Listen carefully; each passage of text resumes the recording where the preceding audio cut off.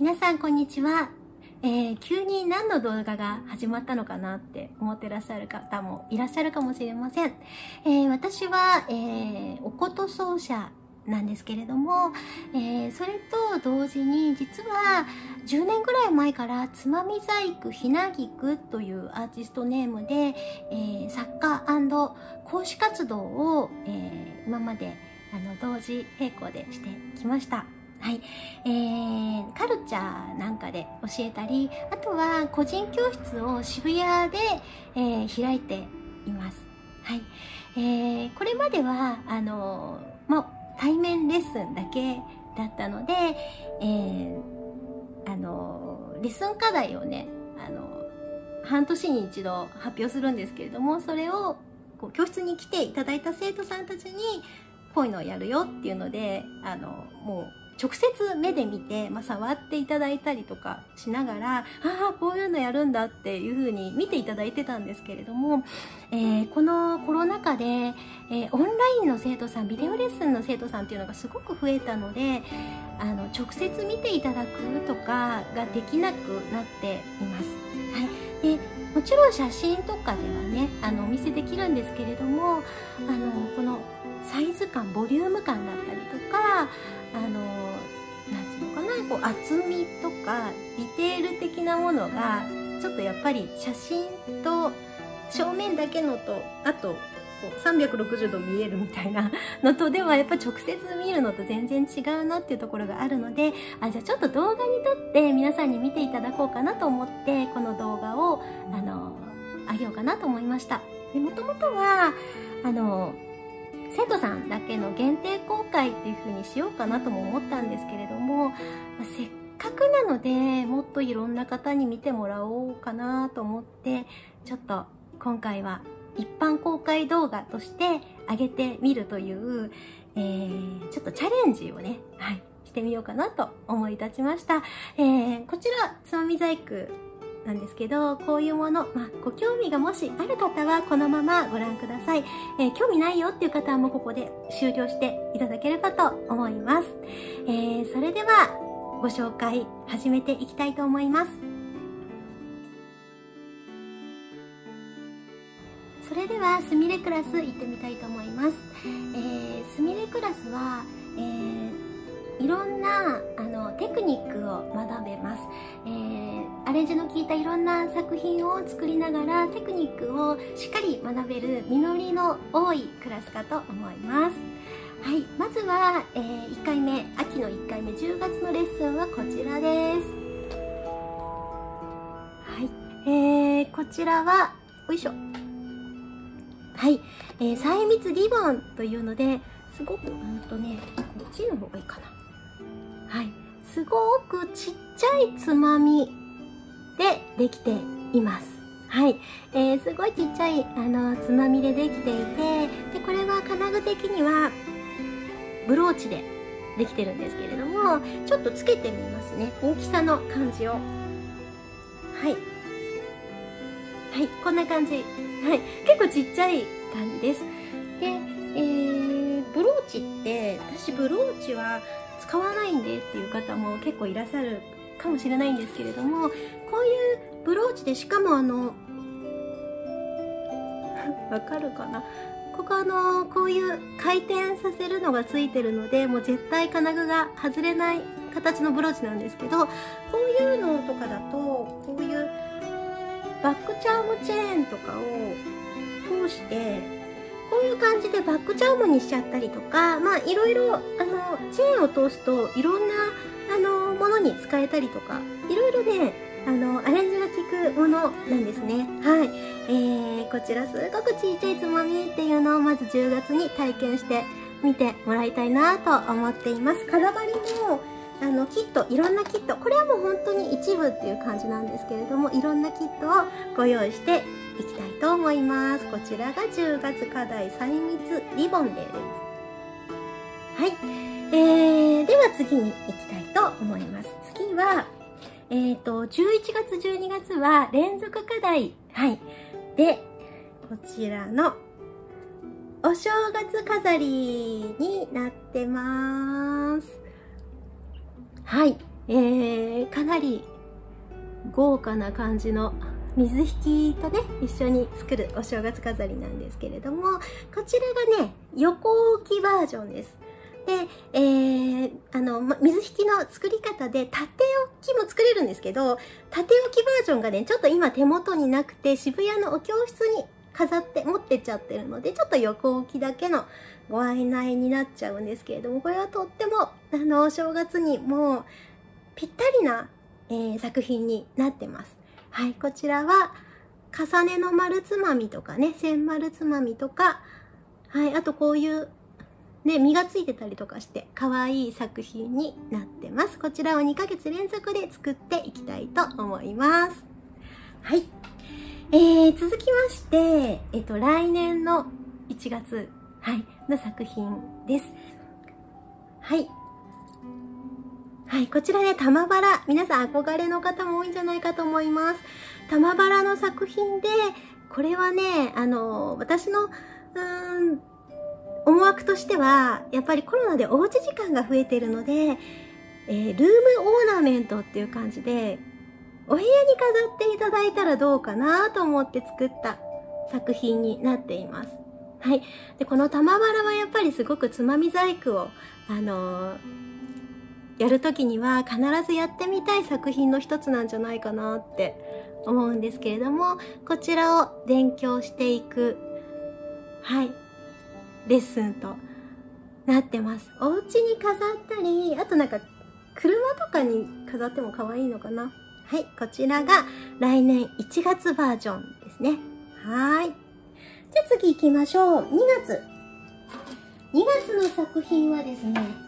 じゃん。じゃ、ん、見えるかなはい、えー、こちらちょっと箱に入っちゃってるんで、あの、あれなんですけど、こちらちょっと1個撮ってみました。はい、重ね椿という作品になります。はい、えー、これはさっきの玉バラのアレンジなんですけれども、布が二重になってることでさらにボリューミー、そして結構大きい作品ですね。これ、とこういうしっかり止まるクリップでできてる感じなんですが、髪の毛もちろんこうコサージュみたいに使っていただいても可愛いかなと思う感じです。結構ボリューミーなので、スーツとかね、はい、そういうのにつけても可愛いんじゃないかなと思います。はい、こちらを2月に作ってみたいと思います。えー、いよいよ次で3月の作品ですね。最後の課題。こちら。はい。重ね剣つまみで作る剣菊。はい。こちら、花びらが、あの、私がね、ちょっとこの今の気分で秋っぽい色で作っちゃったので見にくいんですけど、これ黒と赤紫みたいな、レンガ色みたいなのの二重になってるんですね。はい。で重ね系つまみの課題って今までも結構やってるんですけれども、もう純粋にシンプルな剣菊っていうのはそういえばやったことなくって、やっぱり純粋にシンプルな剣菊ってすごいやっぱり可愛いんですよね。普通の二重じゃなかったとしてもすごく可愛いので、あの、重ねもね、はい、やっていただきたいっていうことでこちらご用意しました。これはさっきの重ね椿よりはちょっと小さい感じはい。これも、あのー、カラバリはね、ものすごくやっぱ多分3月になるともうちょっと春めいてくるので、こういう暗い色もそうなんですけど、もうちょっと明るい華やかカラーも人気に、ね、気分になってくる季節だと思うので、そういうカラバリも、あの、ご用意したいと思っております。はい。ということで、えー、すみれクラス、はい、えー、半年分すべてご紹介しました。それでは次は桜クラス。えー、桜クラスは超上級クラスです。えー、スミレクラスでいろんな、えー、テクニックを学んで、えー、それをこうアレンジして活かすデザインだったりとか、あとはあの、つまみだけじゃなくて、こう土台にひひねりしてたりとか、あと、まあ、上級テクニック、さらに上級テクニック、それとまた、あの、ベテランさんならではのスピード感を活かして、えー、まあ、レッスン2時間って決まってるんですけど、すみれでは、まあ無理だなっていうぐらいのボリュームをつまむような作品だったりとか、えー、あとちょっと宿題がね結構出るっていうこともあったりするも、えー、そういうアレンジの幅の広いクラスになっています。それとあとね結構サプライズのあのクラスなので、えー、この半年でバーンって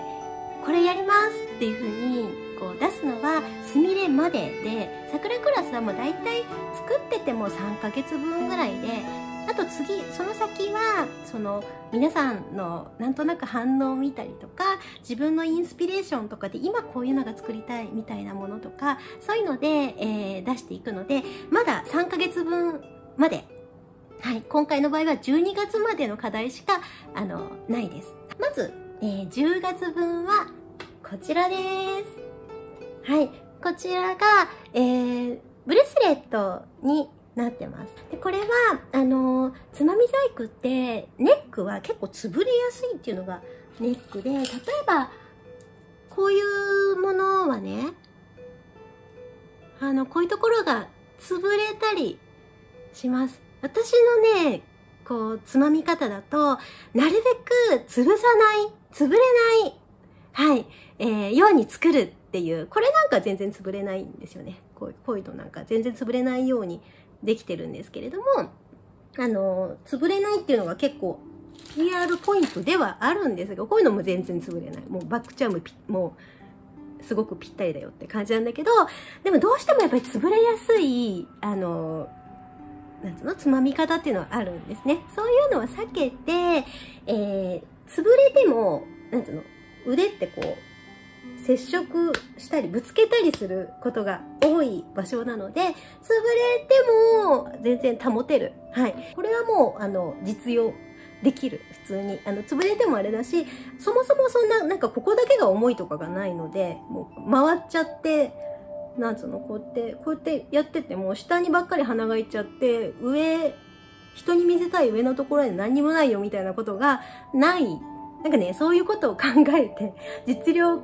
実用とかいうのを考えて私いつも、はい、デザインしてるんですけれども、でもこれは10月だからこういうね、秋からちょうどいいと思うんですけど、いろんな空張りでキット作っていきたいと思っています。11月と12月の連続課題、今回はね、すみれも桜もお正月飾りをバーンとやっていきたいと思います。えー、桜クラスのお正月飾りはですね、こちらです。これね、結構ね、なんか事前にちょこっと写真出したりとかしたらすごい、これやりたいみたいな人すごく多かったんですけど、羽子板ですね。はい。羽子板のお正月飾りっていうのを桜クラスではやりたいと思います。えー、これはね、まずこの丸ひだつまみが、まあ結構こう、テクニック的には上級テクニック。あと、これが返しの丸つまみなんですけど、これもね、綺麗に作るのなかなか難しいですね。この端っこのところとかね、綺麗に作るのが結構難しいっていうもの。で、結構大忙しながら、あと、宿題が多いね。これ、まあ、絶対この1個は宿題になります。1個は教室で作るけど、みたいな感じになるので、まあ、ちょっと大変な課題ではあるんですけれども、えー、桜クラスの技術を持ってすれば、あとは、あのすみれの方とかでもこれやりたいなと思ったら、ダメ元で受講しとくのって手ですよね。その時できなかったとしても、レッスン受けてキットさえもらっておけば、技術が上がってきた時にもう一回作ると綺麗に作れるとかあったりするので、あのこういうのって毎年やるものじゃないんでね。はい。えー、そういう風に取っとくのもいいのかなと思います。はい。で、これはね、木じゃなくて紙なんですよ。厚紙っていうのかな。こういうやつだから意外と軽い。軽いからここのピンチであの壁にねかけられるようにもちろんなんかスタンドで立ててもらってもいいしっていう感じなんですけれども。はい、えー、そういうものになっております。こちらが桜クラスの今季のお正月飾りです。はい。ということで、えー、決まってるのはここまで。はい。えー、で、1月、2月、3月は、でもまだ作品できてないので、えー、作品が出たら写真とかブログとかね、Facebook、インスタあたりでも紹介していきますので、ぜひ楽しみにしていてください。はい。いかがでしたでしょうか？えー、今日ね、あの、ご紹介しました。はい。えー、作品たちはいずれも上級クラスのものになっています。えー、まあ、初級、中級でまあ、今のところはすみれ桜っていう風に上級クラスっていう風になってい、えー、くのでいきなりつぼみ細工を始めてすぐこういうのが作れるっていうわけではないんですけれども、あのー、初級中級ももちろんやってます。はい。で、初級はですね、つまみ細工こういうの見てやってみたいなって思った方は、初級は毎年4月と10月にスタートする、はい、半年講座でやってまして、ちょうどね、今、えー、8月後半から9月にかけて、えー、10月始まりの初級クラスの、あの、募集がはい、スタートするっていう時期ですので、あ、なんかやってみたいって思った方は、えー、概要欄に、えー、貼っときます。初級クラスのご案内。はい。なので、よかったら見てみて、えー、いただけたらと思います。はい。えー、というわけで、つまみ細工のご紹介をしました。えー、ただこのチャンネルは基本的に私のおことの、えー、チャンネルになってますので、今後も、えー、メインはおことの動画っていうのをメインにやっていきたいと思うんですけれども、えー、もしかしたらこういった感じで番外編としてつまみ細工の作品紹介っていうのもたまに上げていくかもしれません。はい。えー、ご興味のあること方は楽しみにしててください。それでは今後ともテミコトのチャンネルをよろしくお願いします。それではまた